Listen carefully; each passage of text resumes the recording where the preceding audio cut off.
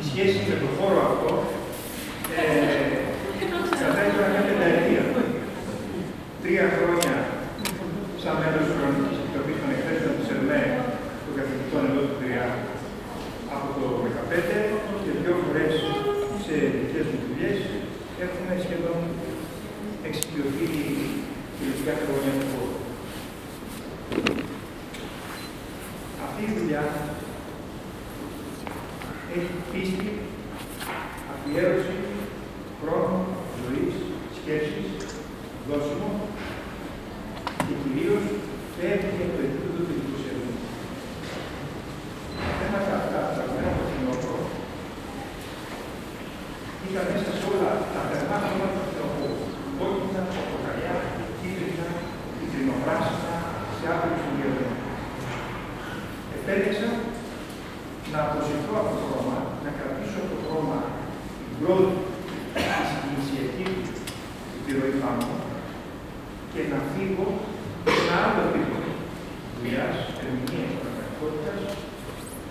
Πιο ταπεινό, πιο χαμηλόφωνο και πιο μυστηριώδες.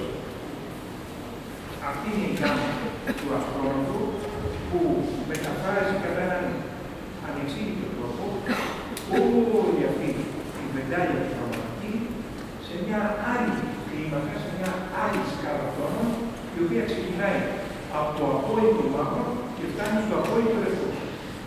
Με όλους τα εννιά σωστό. Σε σχέση τώρα με αυτά τα καρτελάκια που είδατε δίπλα σε έργα και που είναι πολύ λογικό να δημιουργούν μια ερώτημα, μια πορεία, τι είδου είναι αυτά τα φιλμ. Το κάθε φιλμ είναι φωτοευαίσθητο, δηλαδή έχει μια επίστρωση ευαίσθητη στο φως, η οποία δεν είναι αυτονόητο ότι βλέπει όλο το λατρωμένο του φάρμακου. Αυτό είναι το πανχρωματικό φιλμ. Είναι ασπρόματο πανχρωματικό, δηλαδή είναι ευαίσθητο από το ιώδες έως το κόκκινο, βλέπει όλο το λατρωμένο του φάρμακου, μεταφράζοντας το σε τόσο το ασπρόματο. Αυτή είναι η τεχνολογία την οποία την είχαμε μετά το 1920. Μέχρι το 1920 οι επιστρώσεις έβλεπαν μέχρι το κίτρινο. Δηλαδή από το ιώδες μέχρι το κίτρινο. Αυτά είναι τα ορθοχρωματικά φιλμ, τα οποία ήταν τυφλά στο κόκκινο. Γι' αυτό το λόγο ε, είναι μεγάλες αντίθεσεις τα φιλμ αυτά, τα ορθοχρωματικά. Και με τον τρόπο αυτό βγάζουν μια ερμηνεία της σκηνής, η οποία είναι έξω πραγματική φυσικά, δεν είναι αυτή η πραγματικότητα, αλλά και δεν είναι και ζητούμε της φωτογραφίας να αντιπολίσουμε και σαν πραγματικότητα. Η φωτογραφία, αν θέλουμε να μιλάμε για τη φωτογραφία σαν τέχνη, δεν έχει σκοπό η πιστή αναπαράσταση αυτού που βλέπουμε. Έτσι, είναι ερμηνεία αυτού που βλέπουμε. Το ορθοπραγματικό λοιπόν είναι τυφλός στο κόκκινο. Άρα δεν βλέπει του μεσαίου τόνου. Ολόκληρα πράγματα στα δύο άκρα. Απόλυτο μαύρο, απόλυτο λευκό και ελάχιστα γκρίζα. Το πανχρωματικό τα βλέπει όλα και αν τα μεταφράζει και το υπέρυθρο είναι ευαισθητοποιημένο να βλέπει και αυτό που δεν βλέπουν τα μάτια μας. Δηλαδή από το κόκκινο και πάνω. Το μάτι μας βλέπει μέχρι και το κόκκινο. Το υπέρυθρο βλέπει από το κόκκινο και πάνω.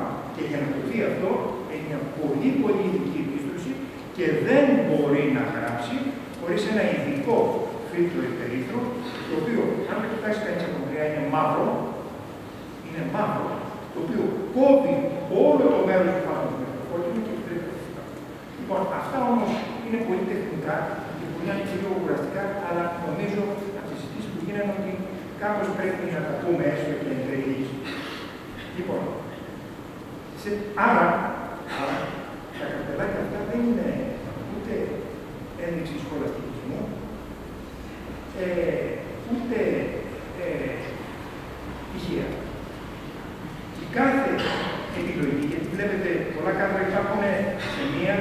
δεύτερη, ίσως και τρίτη ερμηνεία του ίδιου θέματος. Αυτές οι ερμηνείες δεν είναι δοκιμαστικές. Δοκιμαστικές είναι για κάποιους που προσπαθεί να μάθει τη ματιά του Αυτές από ένα σημείο πέρα λειτουργούν σαν αποφάσεις. Σαν αποφάσεις ερμηνείας. Και αυτό το πράγμα είναι μια πρόταση. Έτσι, πώς δηλαδή το ορατό επίπεδο της πραγματικότητας δεν είναι μόνο presidente Oleso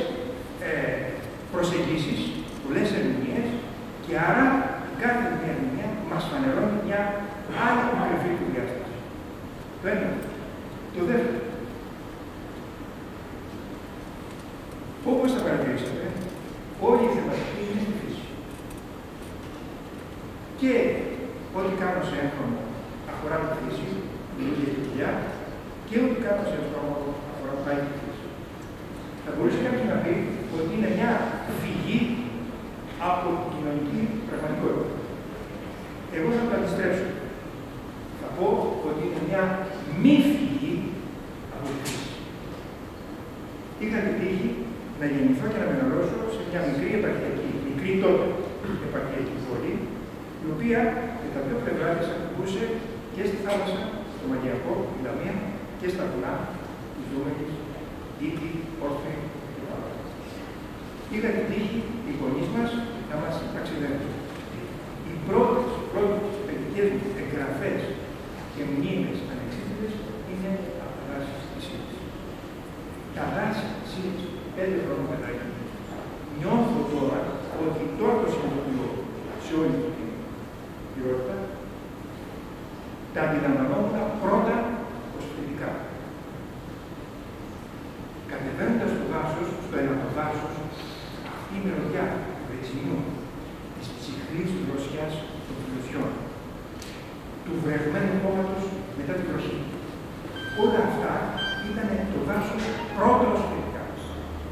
Η δεύτερη προσέγγιση, η δεύτερη εγγραφή ήταν ακουστική. Η λαγές των πουλιών, τα οποία πουλιά στο δάσο είναι ώρα, Άλλο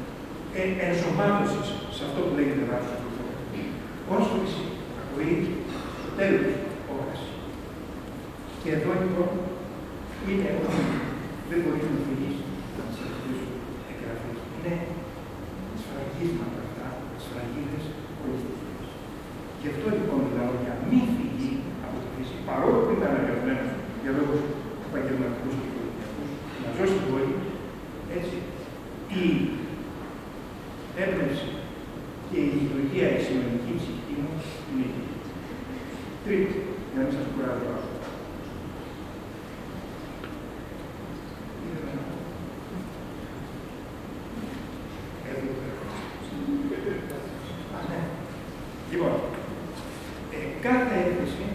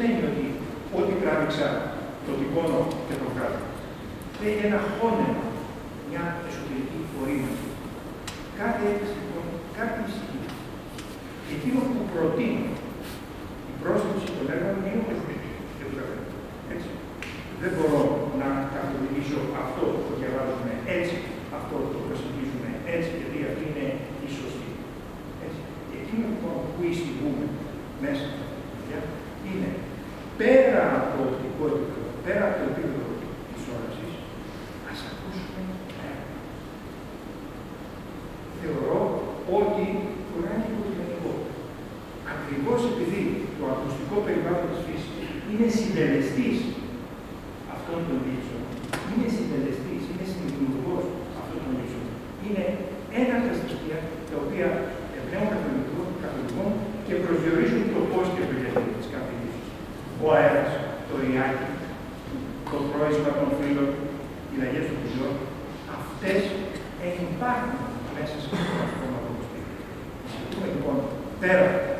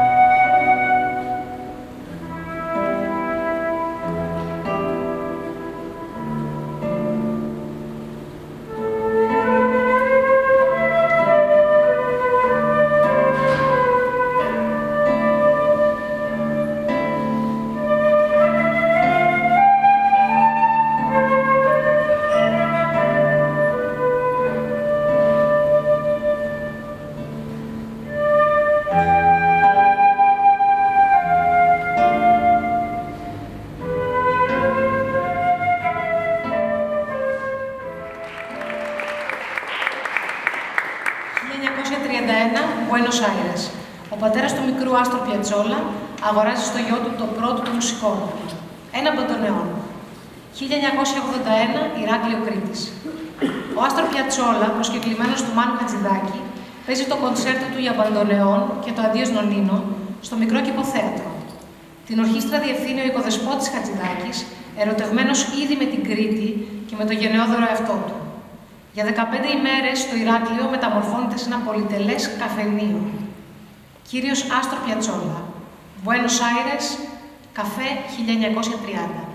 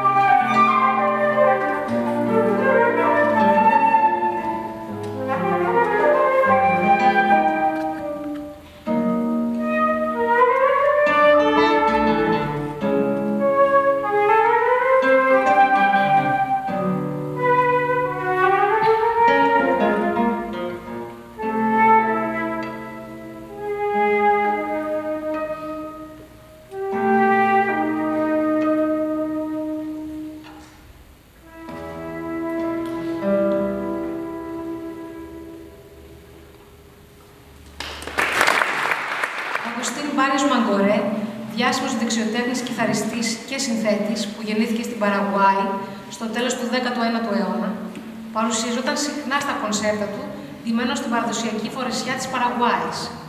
Μιγά στην καταγωγή, από τη φυλή των Ινδιάνων Γουαρανί, προσέθεσε στο όνομά του το Μαγκορέ, αποτείοντας φόρο τιμής στον αρχηγό της φυλής Τιμπού.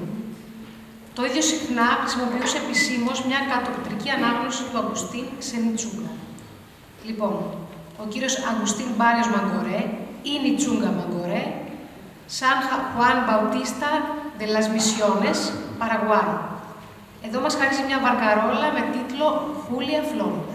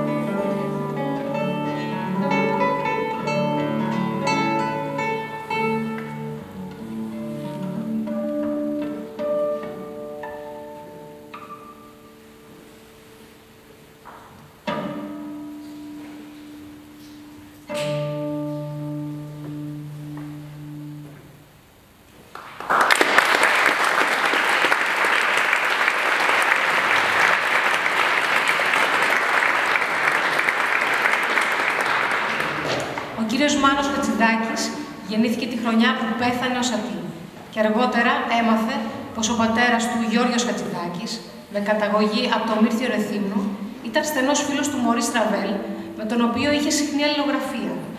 Το Παρίσι έγινε για τον ίδιο η δεύτερη πόλη του. Αρεσκόταν στον εξουθενωτικό ρεμβασμό σε καφενεία και σε ταβέρνες με φίλους, καθώς και στην κατασκευή λυρικών επιτυμβίων που σήκωνε απελπισμένα σαν σημαία μονάχος στη μέση του πλήθους όλων ημών των αποκοιμισμένων αστών του τότε και του σήμερα, επιτυμβίων όπως αυτό. Με το τραγούδι μίλησαν οι άνθρωποι στα πουλιά και αυτά με τη σειρά τους στους ανθρώπους. Με το τραγούδι έστειλαν μηνύματα οι πρόγονοι στους απόγονους. Και με ένα τραγούδι τελικά θα πούμε καλημέρα ένα πρωί στους άλλους πλανήτες. Κύριος Μάνος Χατζηδάκης, Ριγίλης 17, Αθήνα. Τριαντάφυλλο.